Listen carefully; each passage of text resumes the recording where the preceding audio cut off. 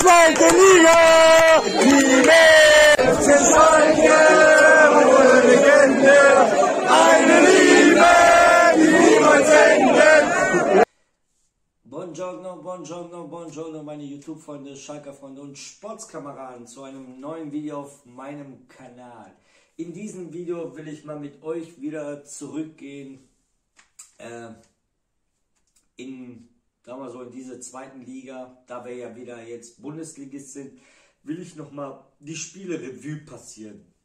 Da wir jetzt eine lange Sommerpause haben, eine lange Sommerpause, wir Sommerpause haben, keine Schalke-Spiele mehr da sind, will ich mit euch noch mal ein bisschen die Spiele Revue passieren, so was passiert ist und so. Und äh, ich hoffe, ihr habt Spaß und schaut mal zu. So, ich weiß noch, der erste Spieltag, wo ausgelost worden, ausgelost worden, wo die Spieltage ausgelost worden sind und wir direkt einen Spitzenspieler gegen den HSV. Zweite Liga, erstes Spiel, Heimspiel, direkt der HSV. Und ich kann mich noch sehr gut erinnern, wir waren in, in der Zeit im Urlaub in der Türkei. Äh, und ich habe das aus der Türkei, das Spiel, mitverfolgt mit meinen Söhnen. Und äh, da war schon der herbe Rückschlag, das Spiel. Ich zeige auch hier mal zwischendurch immer, kommt äh, immer so ein paar Szenen von meine auch Live-Reaktion, wie ich da reagiert habe. Und ich rede noch dabei. Ja, ich weiß noch, das erste Spiel gegen HSV. Und ich weiß noch, da durften 22.000 Zuschauer im Stadion. War ja noch Corona-Zeit. Äh, die Stimmung war schön. Oh, das hat Spaß gemacht, da endlich mal Zuschauer in den Stadien zu hören. Ja, und, aber es fing ja gut an für uns. Nach sieben oder acht Minuten führten wir 1-0. Ah, das war schön, das war schön. Boah, da haben die auch guten Fußball gespielt, aber dann kam auch direkt die Verletzung von Latzer. Äh, und dann nach 25, 30 Minuten haben wir mit dem Fußballspielen aufgehört. Ja. Und dann in der zweiten Halbzeit äh, gingen wir baden. Haben wir dann 3-1 zu Hause gegen HSV verloren. Da waren wir schon, hm, die Laune war schon wieder so. Okay. Dann nächster Spieltag, der zweite Spieltag in Kiel. So, ich habe gehofft, gehofft, ey, in Kiel müssen wir jetzt die drei Punkte holen. Ja, dann spielten wir in Kiel und die Kieler haben ein Feuerwerk abgelegt. Da habe ich gedacht, die haben uns da hinten eingeschnürt. Da habe ich gedacht, ach du Scheiße. Aber durch zwei Standardstore, durch unseren Tiroler, gingen wir 2-0 in Führung. Das war, ah, das tat gut, das tat gut, obwohl wir gar nicht gut gespielt haben, aber durch die Standardtore haben wir 2-0 geführt und dann kam noch das 3-0 in der zweiten Halbzeit und da hatten wir den, den Zahn gezogen. Aber in dem Spiel war Kiel klar deutlich besser, hatten auch gute, sehr gute Torchance. Aber das Spiel ging 3-0 für uns aus und da war schon mal die Niederlage gegen den HSV ein bisschen vergessen. So, da kam der dritte Spieltag, da kam Aue zu uns.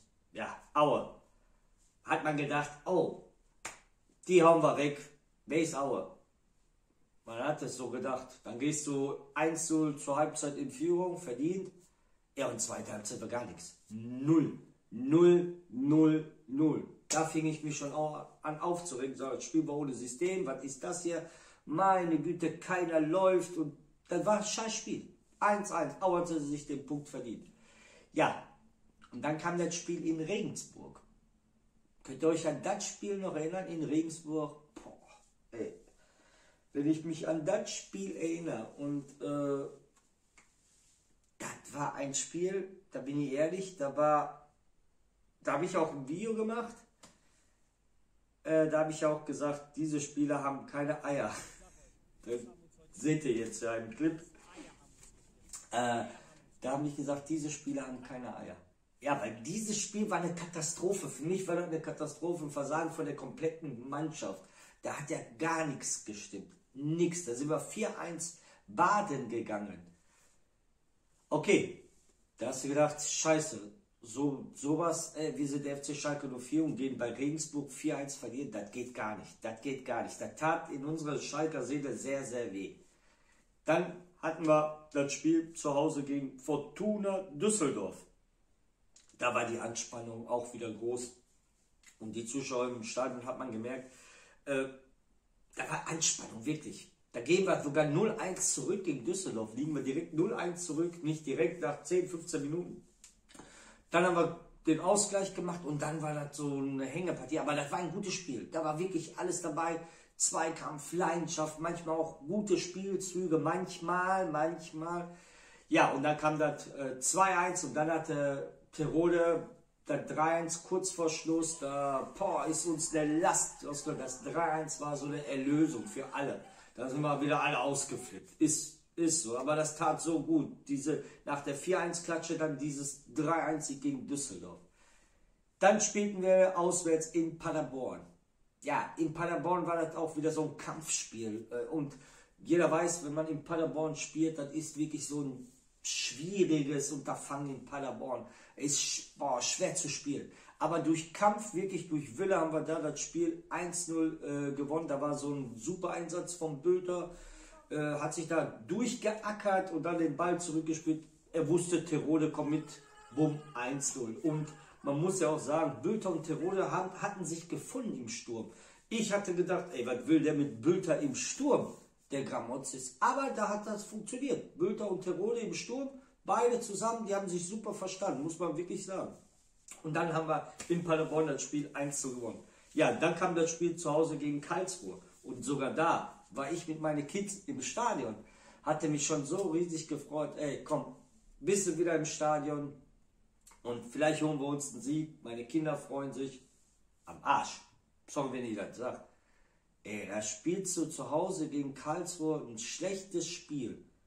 Liegst auch wieder 0-1 zurück, machst das 1-1 und dann kassierst du, oh, oh und kassierst du in der 88. oder 89. Minute das 1 zu 2, so ein Sonntagsschuss, wirklich, der ging ja richtig in den Pium, oben in den Giebel rein. Da war die Laune auch wieder im Arsch. Aber was soll's, wir sind Schalke, wir stehen immer wieder auf. Dann kam das Spiel in Rostock. Für mich war das damals, ich weiß, habe ich gesagt, Pflichtsieg. Ein Pflichtsieg in Rostock. Gar keine Frage sind hingefahren nach Rostock, war ein schlechtes Spiel von uns. Ich bin ehrlich, die ersten 40 Minuten habe ich gesagt, ach du Scheiße, wie schlecht spielen wir da in Rostock. Aber gehen 1-0 in Führung. Terode. Dann haben wir in der zweiten Halbzeit 2-0 gemacht. Und da hat auch für mich der eine ein klasse Spiel gemacht, da er, da war eine Situation, wo der Tirode da 2-0 aufgelegt kriegt von Aydin. Da hätte er selber machen können, aber spielt quer zum Aydin zum 2-0. Da kam langsam die Stunde von Aydin. so war das mein Gefühl. Ja, dann kam das Spiel zu Hause gegen Ingolstadt. Und uh, was heißt das, wenn wir so machen? Ah, Karate Aydin. Erinnert ihr euch noch an sein Tor, das 2-0 von Aydin? Karate, überall Fotos wie Karate, wieder hochspringt, sein Karatesprung zum 2-0 bei e bei der Ecke. Hammer, Hammer. Da war jetzt die Zeit von einigen gekommen, da, da war der wirklich richtig gut drauf. Kann ich mich erinnern, war der richtig gut drauf. Da habe ich mich gefreut auf den. Hey, jetzt ist er da. Dann kam das Spiel in Hannover. Da hat sich leider der, unser Aydin verletzt nach, weiß nicht, 20, 25 Minuten. Eine schwere Verletzung, der auch, er fiel auch lange aus danach. Und das Spiel in Hannover, oh, für mich war das in, in dem Moment das beste Spiel, was Schalke bis dahin gemacht hat, weil die waren druckvoll, hatten das Spiel im Griff, da warst du nie unsicher oder sagen wir so, da warst du dir 100% sicher, ey, die kassieren heute hier kein Tor, die müssen aber eins machen, weil die hatten das Spiel so was von im Griff. Die haben jetzt nicht überragend Fußball gespielt, nein, aber die hatten das Spiel vollkommen im Griff. Und äh, ich weiß, ich war damals auch noch im Stadion in Hannover, auch wieder mit meinen Kids äh, und meiner Cousine, die die Karten ermöglicht hat. Nochmal Tutscha, Dankeschön.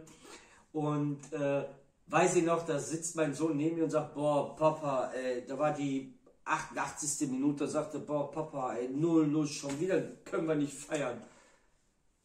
Ja, und dann kam Kaminski in der 92 oder 93. Minute Nachspielzeit, Ekstase pur, Ekstase pur war das. Das war so ein hammergeiles Gefühl. Der Sieg in Hannover, da waren mindestens 10.000 Schalker in Hannover. Da durften ja auch wieder 40.000 im Stadion in Hannover. Das war so schön wieder. noch mehr Zuschauer. Und wir haben so eine geile Stimmung in Hannover gemacht. Das war wirklich mega, mega. Und dann gewinnst du das Spiel noch in der Nachspielzeit.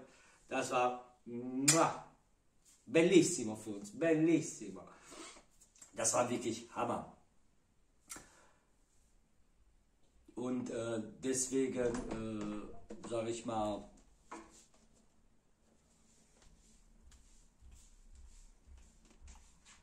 ja, deswegen sage ich ja, äh, es war mega in Hannover. Ja, jetzt machen wir einen Cut. machen wir einen Cut. Äh, und die nächsten Spiele, die ich euch dann erzähle, kommt im nächsten Video. Ja, jetzt müsst ihr euch gedulden. Ey, wir haben Sommerpause. Ich muss mir was überlegen. Nein, im nächsten Video, wenn ich wieder ein Video mache, machen wir dann den zweiten Teil von den Spielen von unseren Blauen. Erzähle ich dann weiter, wie ich das immer so empfunden habe und so, wie die Spiele waren. Machen wir im nächsten Video weiter. Und wenn es euch gefällt, Abo dalassen, teilen, oder irgendwas. Und schreibt in die Kommentare, wie habt ihr damals gesehen? War das auch so ein Gefühl für euch da in den, in den Spielen äh, gegen Rostock, gegen HSV, gegen Kiel oder gegen Düsseldorf? Schreibt mal ihr meine Kommentare, wie ihr damals das gesehen habt. Und dann im nächsten Video machen wir dann weiter mit unseren Spielen von unserem Blauen. Erzähle ich dann weiter.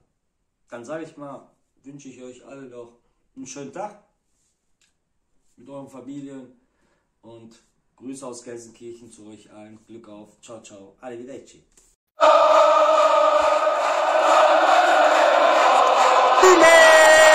Zweite Liga! Liebe!